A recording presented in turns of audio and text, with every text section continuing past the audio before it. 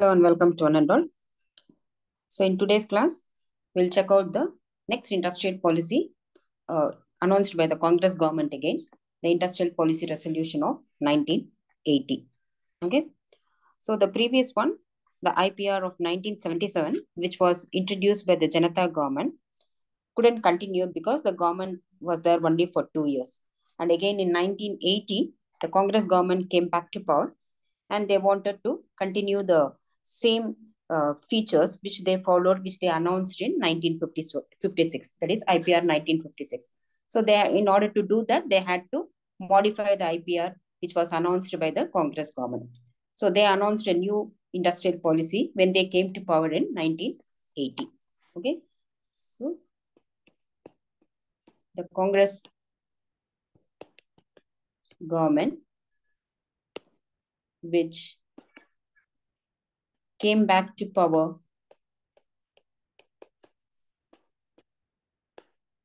In 1980 announced. A new industrial policy.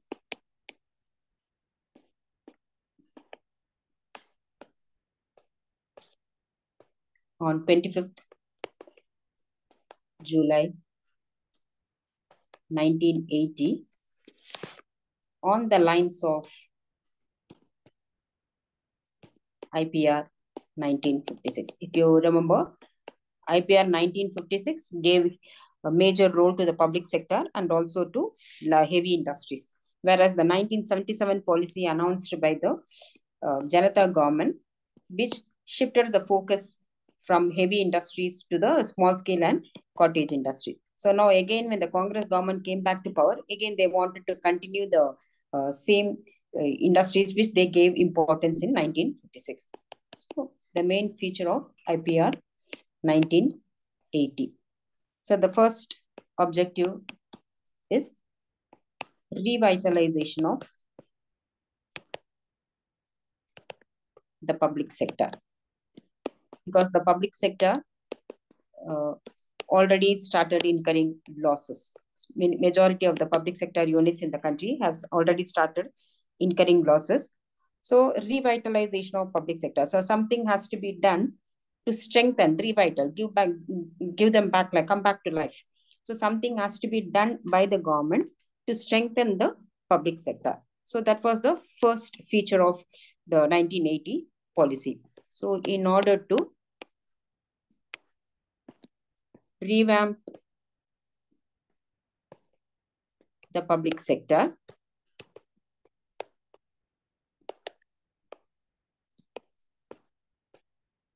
The government decided to, so their idea is to strengthen their management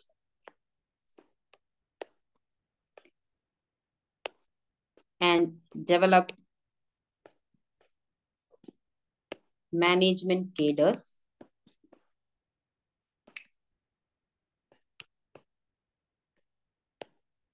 in the fields of finance, marketing, etc. in the for the in the public sector undertakings. See, most of the uh, units are collapsing because of the wrong decision makings by the at the managerial level. So if the proper managers are elected or if the proper training facilities are given to the managers, then they will have the efficient managerial cadre in each and every public sector unit. So that's what the uh, government decided to do. That's how the government decided to revitalize the public sector by having a efficient managerial cadres in their respective units so that there will not be any wrong decision making at the managerial level. Okay, so that is the first feature. And the second uh, unique feature, what they decided is something called as economic federalism.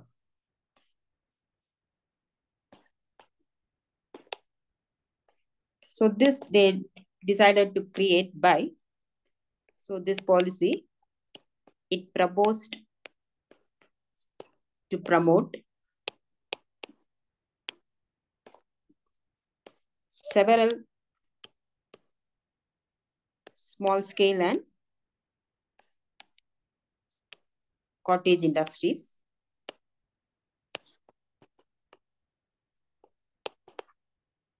as ancillary units, as ancillary units to the main industries. So they will become complementary to the main industry. So all the main industry, large industries are under the public sector.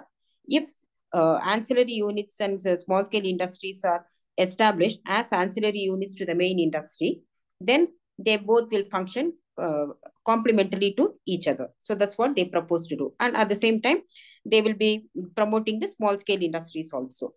So, so this, they designed a unique way. They propose something unique called as, it is proposed by the government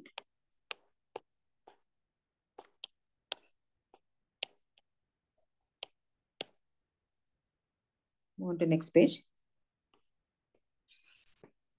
to set up something called as set up a few nucleus plants. This is a, a special feature of this policy, something called as nucleus plants in each district.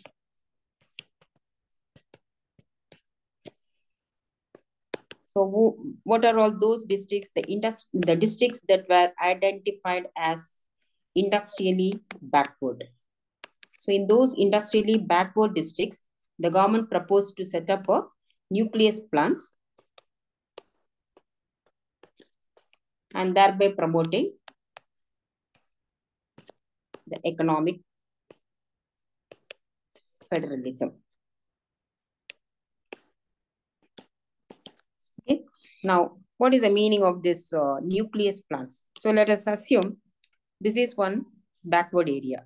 Okay let me let, let us assume that this is backward area, industrially backward, backward area A. And another, we have one more uh, area district. Okay, this is one backward district A. This is another backward district B. Like that, uh, identically, uh, the government has identified which are all the districts which are industrially backward. So now what is this nucleus? In each of these backward districts, the government proposed to set up a nucleus plants. Now what is the meaning of this nucleus plants? It is nothing but several number of ancillary units, small scale and cottage units will be established in this area. So in this number of ancillary units. So these ancillary units, anyway, they will be supporting the main industry.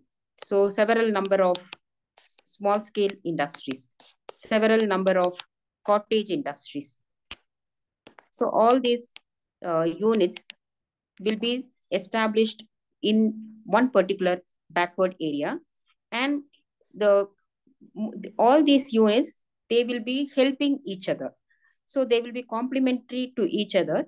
And they will over a period of time they will be uh, this area will develop and this area will become self-reliant.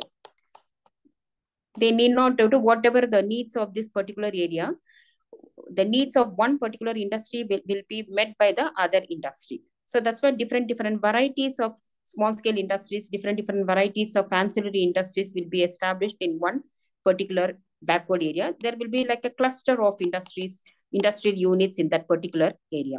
So they will become self-reliant and all their needs will be met within that particular uh, district itself. They need not have to depend outside.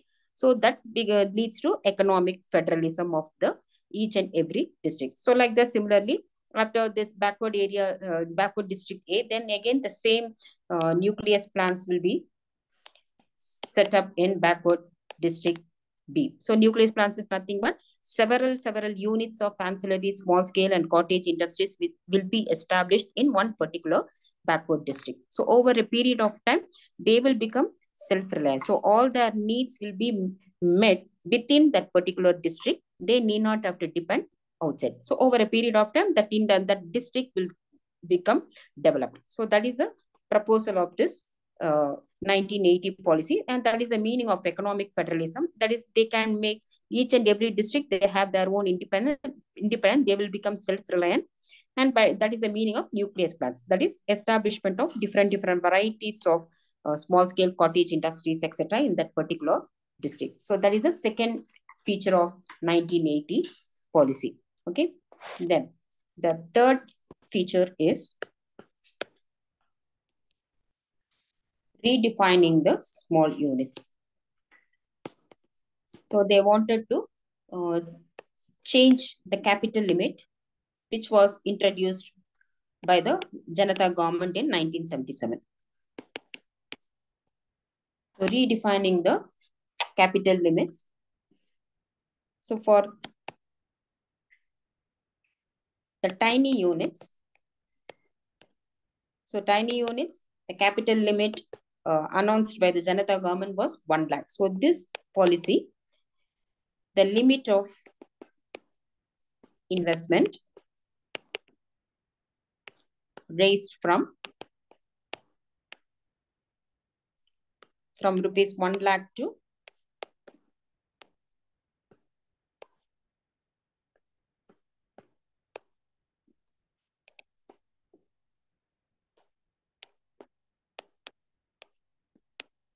it has proposed to increase to rupees 2 lakhs. And as far as the small industries are concerned, so the capital limit is increased from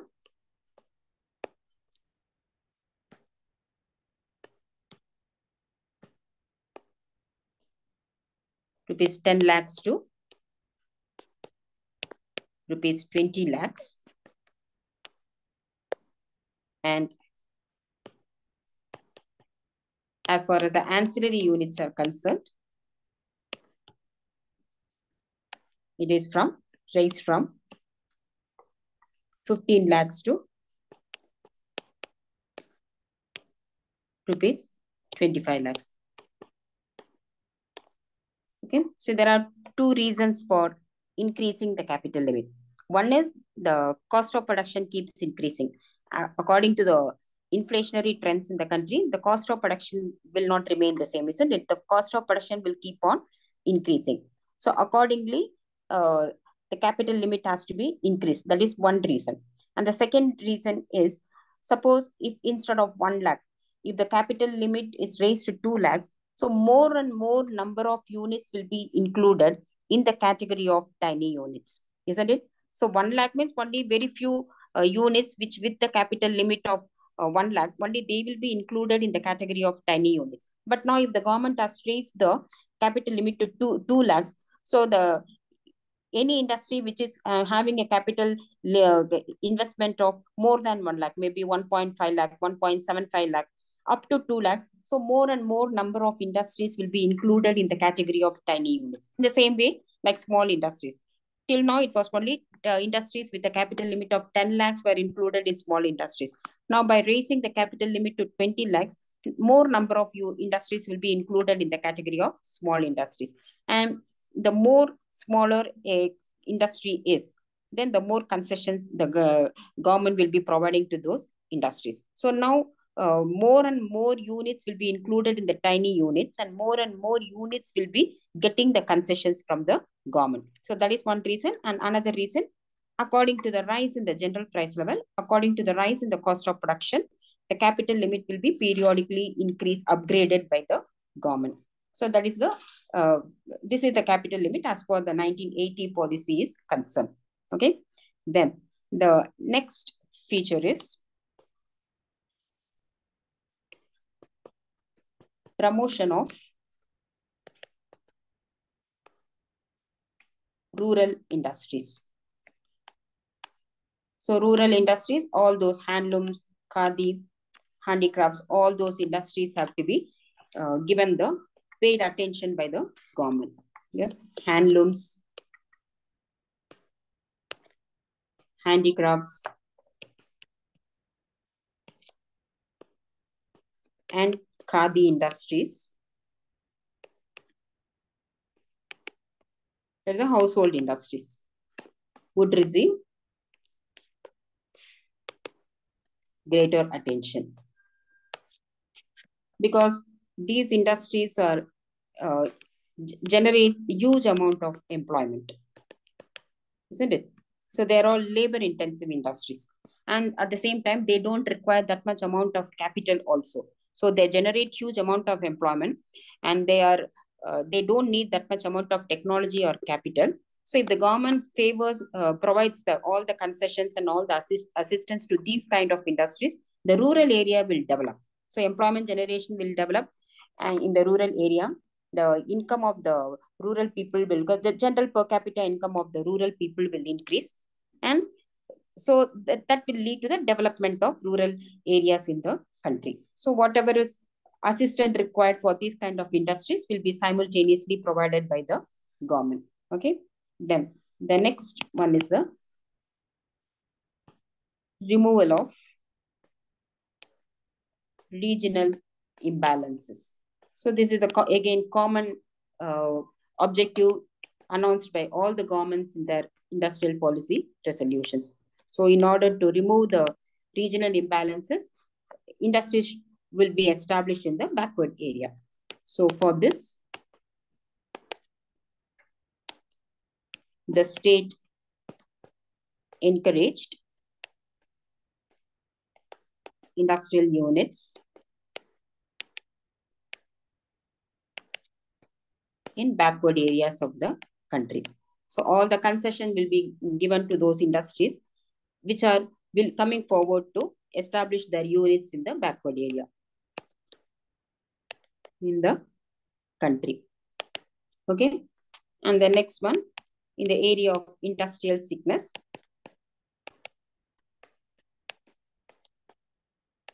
So industrial uh, sick industry is the one I mentioned to you, the any unit which is continuously incurring losses. So that is the considered as a uh, sick industry. So uh, what is the policy towards industrial sickness? To what extent the government is going to take over the sick industry?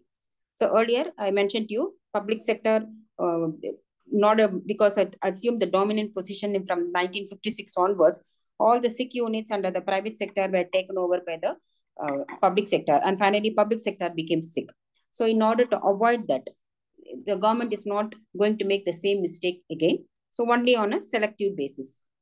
So the same policy which was followed by the 1977 policy by the janata government. So the policy towards sick units is there are one is management of sick units will be taken only in exceptional cases. So that is every sick unit will not be taken over by the government only very, very exceptional cases, whether uh, that particular unit is extremely important for the general public. As only those kind of units will be, it is very uh, important as for the public interest. So only those kind of units will be taken over by the government. And another thing is potentially viable sick units will be merged with the healthy units.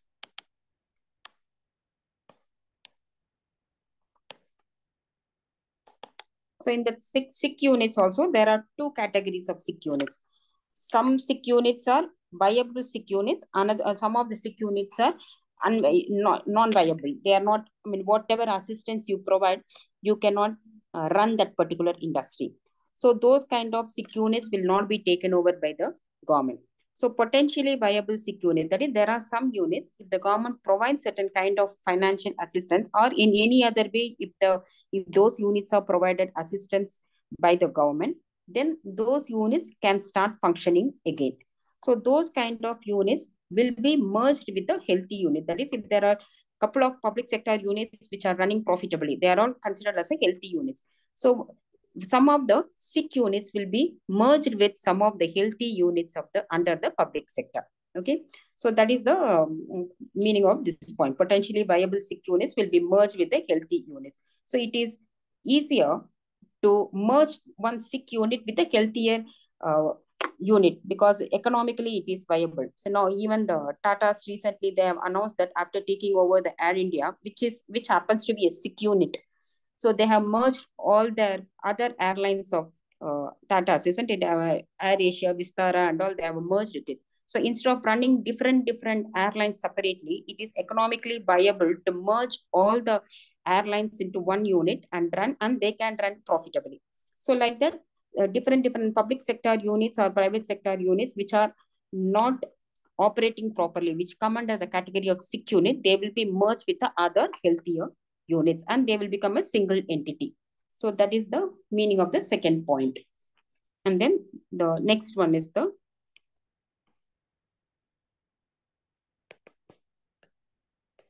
regulation of unauthorized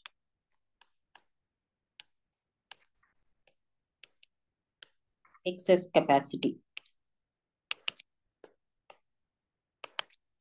So the meaning of this uh, excess capacity is, say for example, let us assume uh, if any industry with a plant and uh, invest plant and machinery that investment limit is let us assume 50 crores. See, we have seen the capital limit of different different industries, isn't it? Mega industries, it is more than 100 crores and large industries between 10 crores to 100 crores. So that is the uh, capacity, that is the capital limit. Suppose let us assume any industry, the capital limit, authorized capital limit is rupees 50 crores. So this is authorized limit or this is authorized capacity. So they can invest up to 50 crores. Okay. Suppose what is happening in the private sector, they want to expand their business. So they are increasing to, let us assume they are increasing the investment up to 75 crores without any uh, authorization from the government. So this is called as the unauthorized capacity. So this is excess. So that's why this is unauthorized excess capacity. So now what the government wanted to do, the government want to regularize that. So that means what? Instead of 50 crores, the government will allow regularize whichever the companies which are having the excess capacity that is more than the authorized investment limit. So those companies will be regularized by the government. That means they will be allowed to expand uh, to, to a certain extent. So that is the regularization of unauthorized excess capacity. But there is a limit. Maximum they can uh, expand is only up to 25% of the to total installed capacity of the company. That means what they can expand only up to the 50 crores for additional 25%. So only to that much extent they can expand. So that is the meaning of the this point.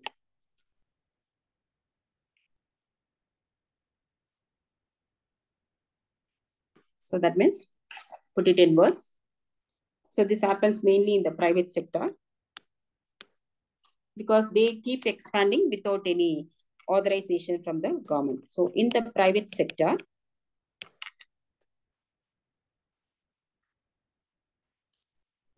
so there's a limit is capacity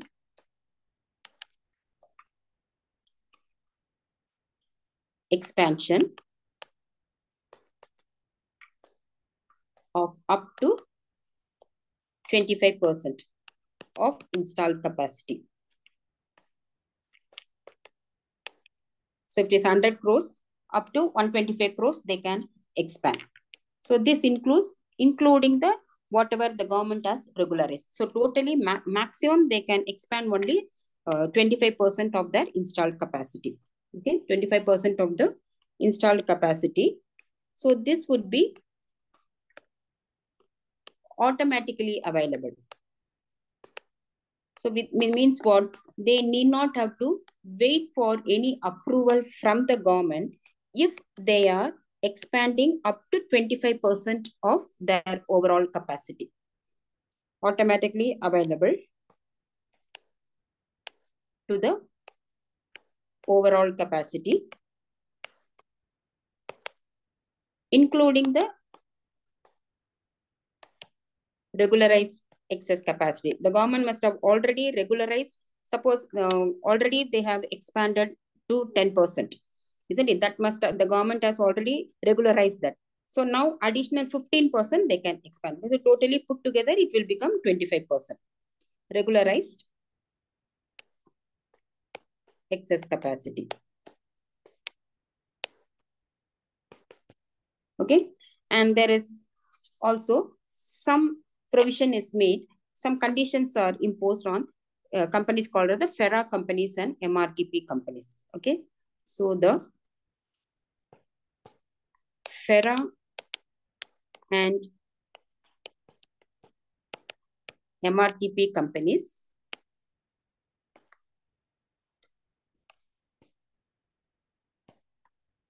would be considered on a selective basis. Now let me explain what is the meaning of this FERA. See the full form of this for your information. The full form of FERA is Foreign Exchange Regulation Act. So this one was passed by the government in 1973. So this actually there are certain companies which require periodically they have to import certain parts, components, raw materials, technology. So like that, the nature of the companies, they have to keep on importing uh, all these items from the other countries, from the foreign countries. So they are already using the scarce foreign exchange reserve, reserves available in the country. So now if these companies are given this automatic uh, expansion uh, limit of 25%, so they will further expand and they will be further importing all those uh, foreign components from the other countries and they will be consuming all the uh, their scarce foreign exchange resources available in the country. So uh, these companies, any company which is coming under the FERA companies, so they will be given as a, what you say, so that's why the government passed this Act, Foreign Exchange Regulation Act means regulating the foreign exchange. Each and every company, they cannot use the scarce foreign exchange as they wish. So they have to go through the proper procedure. The Reserve Bank of India will approve only was very, very important cases only. They will allow the company to import the foreign uh, components because of the scarcity of foreign exchange resources. And this foreign exchange, uh, the FERA companies are those companies which are having the foreign equity capital already more than 40%. So the FERA companies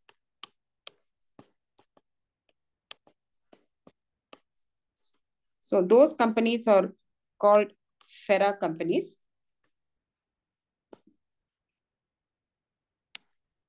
So the FERA companies are those whose in which already the foreign equity is more than 40%. So already they are having uh, more than 40% of the foreign equity. And on the top of it, if they are allowed to expand their business, then they will invite more and more amount of foreign equity and that will become more than 50%, more than 51%. So then what the foreign uh, entrepreneur, they will have the more voice in the management and the ownership of the company, which the government did not want to give. So already they are maximum the Congress government, remember, they wanted to give the foreign equity capital only to the extent of 49%. The remaining 51% should be in the hands of the domestic entrepreneur. So if they're already having 40%, and if these companies are expanding their business, if the government allows that automatic uh, expansion, regularize the excess capacity, then the foreign company, foreign equity capital will further increase. Okay, so that's why the government wanted to give not to every company only on a selective basis. And also another category of companies, the uh, MRTP companies. So MRTP companies, the full form is monopoly, restrictive and trade practices. So MRTP, the full form is Monopoly Restrictive and Trade Practices. To put it very simply, there are certain companies under the private sector they're already assuming assuming the role of monopoly say like uh, some example if they're already having 100 crores of investment or if they're already having 25% of the market share and still if they want to uh, expand their business so they're all assumed like a monopoly companies so if so these kind of companies also if they are allowed to expand then uh, their role of monopoly will further increase isn't it? So then the role of public sector will be degraded. So the government again did not want to do that. So only for these kind of companies, the government will not is not going to allow automatically this 25% excess capacity. So only on a selective basis. So that is the uh, for these two companies concerned. And there is one more point here. As far as that ex, uh, excess capacity is concerned. Also, this facility is not applicable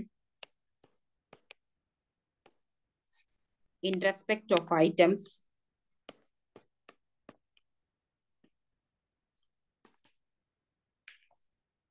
reserved for the small scale sector.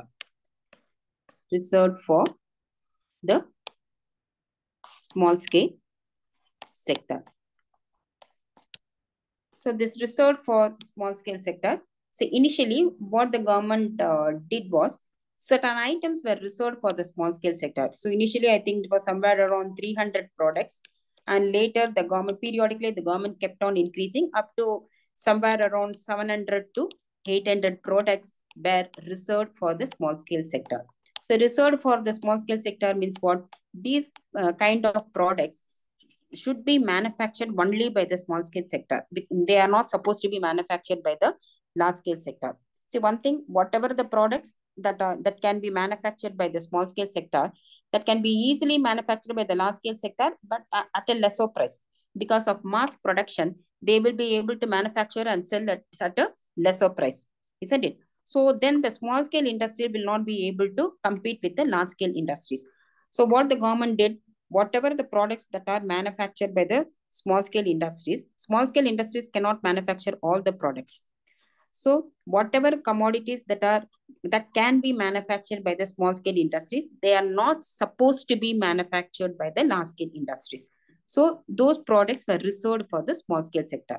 So whatever if any of these products are under coming under the category of reserved category of the small scale sector. So in those type of products, the government will not provide this automatic 25% excess capacity to the large scale industries. Okay, so that is the meaning of uh, this. So now these are all the uh, main features of 1980 policy. It has, I mean, the the conclude, if you have to conclude the 1980 policy, it is said that 1980 policy has a more practical approach. So this policy, even though was more practical in its approach,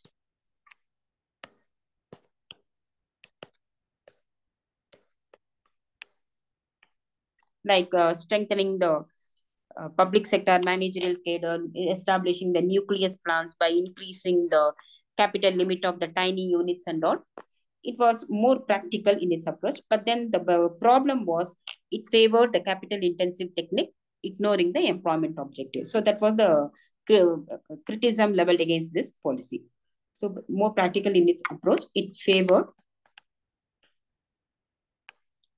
capital intensive technique of production, that is mechanization.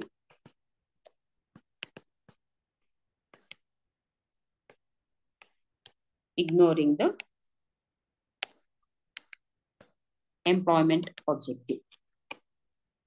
So critics point out, this is one of the major drawback of 1980 policy. Okay. So this is the 1980 policy. And the next major change in the industrial pattern of our country happened with the announcement of the uh, liberalization policy announced in 1991. That is Industrial Policy Resolution of 1991, which is one of the most important policies of, of the country. Apart from 1956, 1991 policy happens to be the most important policy, the turning point of industrialization in our country. So which I will explain to you in my next class. Okay. So if you find this video useful, please like, share, and also please subscribe to the to my channel so that you won't miss any topics. Okay. So until my next class, take care. Bye-bye.